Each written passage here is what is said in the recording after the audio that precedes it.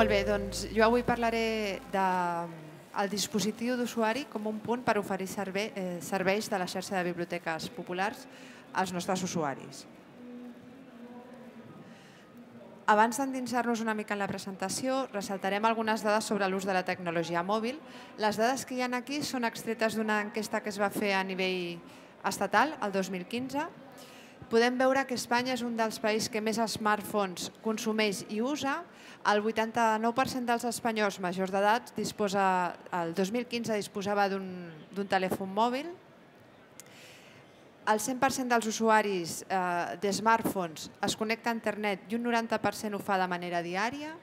Altra dada eh, també rellevant és que 3 de cada 10 persones que tenen un smartphone miren el telèfon més de 50 cops al dia i un 10% d'aquests ho fa fins a més de 100 cops al dia. Per últim, parlar del temps de connexió, que en els smartphones el 90% d'aquest temps s'utilitza eh, mitjançant les aplicacions. Veient aquestes dades i veient com la tecnologia mòbil és una tecnologia en creixement, la xarxa de biblioteques municipals es planteja quins serveis mòbils ha de donar. Davant d'aquesta pregunta, quins serveis són els que mòbils hem de donar, la xarxa de biblioteques municipals parteix de la primera premissa de que ha de donar solucions comunes per 226 biblioteques i per 10 bibliobusos. Algunes de les preguntes que ens hem plantejat. Hem de desenvolupar una app amb els costos de manteniment i els costos de, de desenvolupament que suposa o hem d'apostar més aviat per mobilitzar els serveis que ja tenim al portal?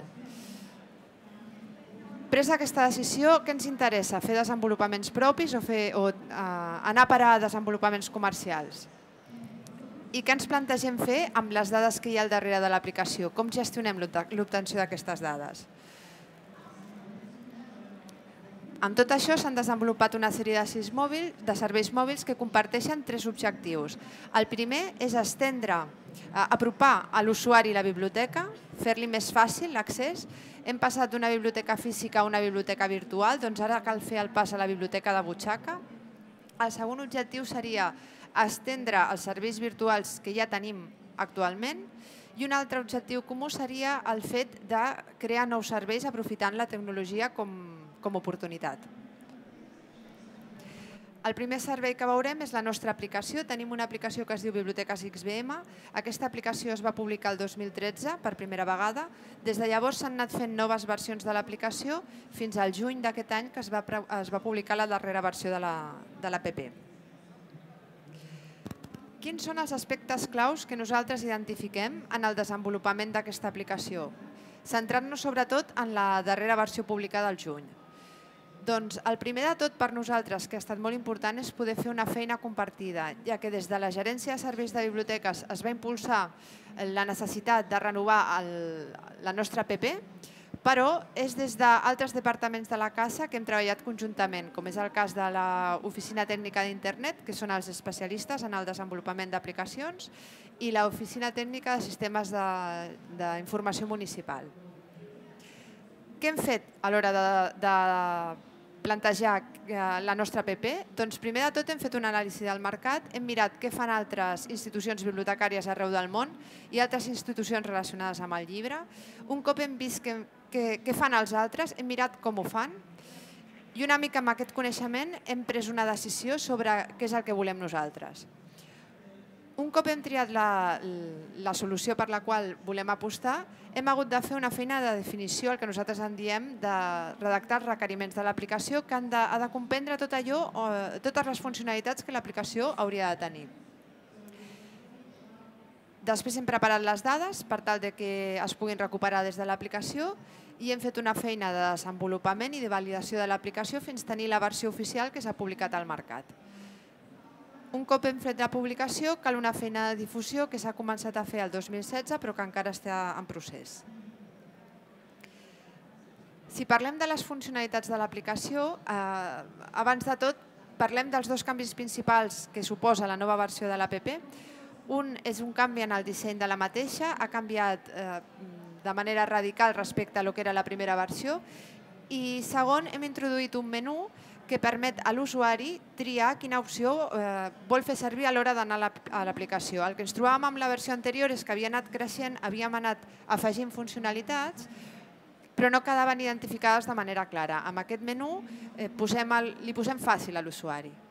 Llavors, quines funcionalitats podem trobar en aquesta aplicació? Tenim el carnet virtual, que és un equivalent al carnet físic de les biblioteques, serveix per validar-se en qualsevol servei que requereixi validació de les biblioteques de la xarxa. Tenim un, un accés a l'espai personal on els usuaris poden gestionar els seus préstecs i la seva activitat amb el catàleg. Aquest espai personal no requereix una validació per poder entrar. Si l'usuari ja ha validat prèviament el carnet, la validació és transparent. Després tenim un accés al catàleg, que és on tenim tots els fons eh, bibliogràfics de les biblioteques, on es pot fer consulta i localització de documents. Tenim un apartat de biblioteques per trobar biblioteques mitjançant la geolocalització. En aquest apartat trobarem informació important de les biblioteques com l'horari, com l'adreça i també trobarem informació de les activitats que desenvolupen les biblioteques. Hi ha un altre apartat que és eh, activitats, per anar directament a cercar aquelles activitats que fan les biblioteques. I a més a més tenim un apartat nou en aquesta versió, que és l'apartat dels bibliobusos, que fins ara no apareixien en l'aplicació. Des d'aquí podem consultar quines són les parades dels bibliobusos que tenim, quins són els seus horaris, podem consultar quines activitats fan i a més a més tenim un formulari de contacte amb el bibliobús perquè hem considerat que és un servei eh, especial, un servei que requereix un, un tractament especial i per tant se li dona la possibilitat a l'usuari de posar-se en contacte directament amb el bibliobús a través de l'aplicació. Per últim, tenim un accés a la reserva d'ordinadors. Des de l'APP, qualsevol usuari pot accedir a, a reservar un ordinador de la biblioteca. Igual que en l'accés a l'espai personal del catàleg, la validació és transparent. Si l'usuari té el carnet validat, ja no li caldrà posar les dades de validació. En quant a la gestió de les dades, la prioritat des de la gerència de serveis de biblioteca sempre ha estat que no es generés una feina extraordinària a les biblioteques en el manteniment de les, dels serveis mòbils. En aquest sentit, s'ha establert com a font d'informació per l'aplicació la Biblioteca Virtual, que és el nostre portal oficial de biblioteques, i l'obtenció de les dades del portal de Biblioteca Virtual es fa mitjançant el portal Open Data a la Diputació de Barcelona. Si parlem de dades, l'aplicació actualment té més de 20.000 descàrregues, una mitjana mensual de mm, més de 26.000 pàgines vista i 6.535 usuaris visitants únics. Quant de temps està un usuari fent servir la nostra aplicació? Doncs una mitjana de 3 minuts amb 15 segons. El més utilitzat seria la pàgina del carnet mobilitzat, que s'emporta el 30% de les consultes, seguit per l'espai personal, l'accés al catàleg i la consulta de biblioteques. Hem vist l'APP Biblioteques XBM, tenim una altra APP que és l'APP de Biblio. Aquesta APP parteix d'un projecte que no és estrictament de Diputació, sinó que és un projecte que impulsa el Ministeri de Cultura, Educació i Deportes per tal que les comunitats autònomes puguin disposar d'una plataforma de llibre electrònic. En aquest sentit, eh, l'APP de Biblio respon a un projecte de comunitat de comunitat autònoma i per tant és gestionada per la Generalitat de Catalunya, la Diputació de Barcelona i el Consorci de Biblioteques de Barcelona. El portal eBiblio disposa d'un un accés a través del portal web i també disposa d'una app pròpia disponible en versió eh, per sistemes operatius Android i iOS. Un altre tipus de serveis virtuals són els portals responsius, és a dir, fer que els nostres portals siguin consultables des dels mòbils amb una visualització adequada. En aquest sentit, tenim el portal Trencadís, que és el portal dels fons digitals locals de les biblioteques de la xarxa, que té una versió responsiva del seu web. I després tenim el portal de biblioteca virtual, que actualment no té una versió responsiva, però que a finals de novembre ja la tindrà. Un altre dels nostres serveis mòbils seria l'accés al catàleg. El catàleg a la eh, s'ha tractat de manera diferent perquè darrere del catàleg hi ha el sistema, un software, de, de gestió de les biblioteques d'una empresa comercial, per tant la mobilització del catàleg s'ha hagut de fer mitjançant un, un producte comercial de l'empresa Innovative, que és l'empresa propietària del producte que tenim a les biblioteques, i per tant aquest catàleg mobilitzat disposa d'un domini propi, és un accés diferent. El domini és m.aladiva.diva.cat. Quines funcionalitats es poden, eh, es poden fer des del catàleg mobilitzat? Doncs es pot cercar i localitzar documents del fons bibliogràfic de les biblioteques i també es poden fer gestions en línia. A més a més, els usuaris des del seu dispositiu poden accedir a la xarxa wifi de les biblioteques de la, de la xarxa de biblioteques municipals.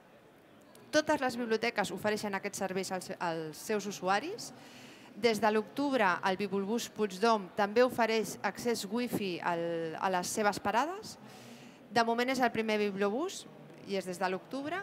I per poder fer servir aquest servei és necessari que l'usuari des del seu dispositiu es connecti a la, nostra, a la xarxa de la biblioteca wifi i es validi amb el codi de barres del carnet i la contrasenya. Com una dada per exemplificar, hem posat les, les validacions que van haver-hi al servei Wi-Fi en el mes d'octubre, que són 801.425. Vale. Per últim, un altre canal de comunicació amb els usuaris a través del seu dispositiu són les xarxes socials de les biblioteques. Nosaltres en tenim quatre actualment. La primera xarxa social que es va posar en marxa des de la gerència de serveis de biblioteques va ser el YouTube i el va seguir de seguida una pàgina de Facebook on es fa difusió de les activitats de les biblioteques, dels continguts que publiquem en el nostre portal Biblioteca Virtual. I després de la pàgina Facebook vam publicar també un perfil a Twitter, on es fa una mica ressò d'allò que es fa a Facebook i a més a més també eh, en el perfil de Twitter també mm, hi ha una vessant més professional de cara a activitats més professionals dels bibliotecaris. Des de l'octubre d'aquest any també tenim un perfil d'Instagram que l'acabem d'inaugurar i en aquest perfil la intenció és posar imatges de les biblioteques que surten una mica de les imatges tradicionals de lo que és l'edifici. Bueno, fins, aquí els serveis mòbils que oferim des de les biblioteques i una mica tall de conclusió com a cluent de, de tot el que hem vist, podem treure unes conclusions. Doncs la tecnologia mòbil és una oportunitat per desenvolupar serveis i per connectar de forma més directa a l'usuari. La reutilització de dades és clau per l'eficiència en l'ampliació dels serveis existents i la, per la creació de nous serveis. És el que parlàvem abans de no carregar de feina a, a l'equip que ja tenim, sinó obtenir aquestes dades de manera transparent.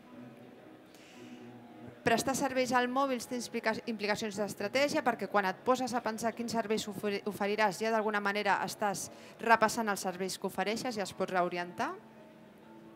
I per últim, doncs, la nostra premissa principal, la feina en xarxa, permet comptar amb productes útils i comuns per a totes les biblioteques, escalant economia i esforços. I fins aquí. Gràcies.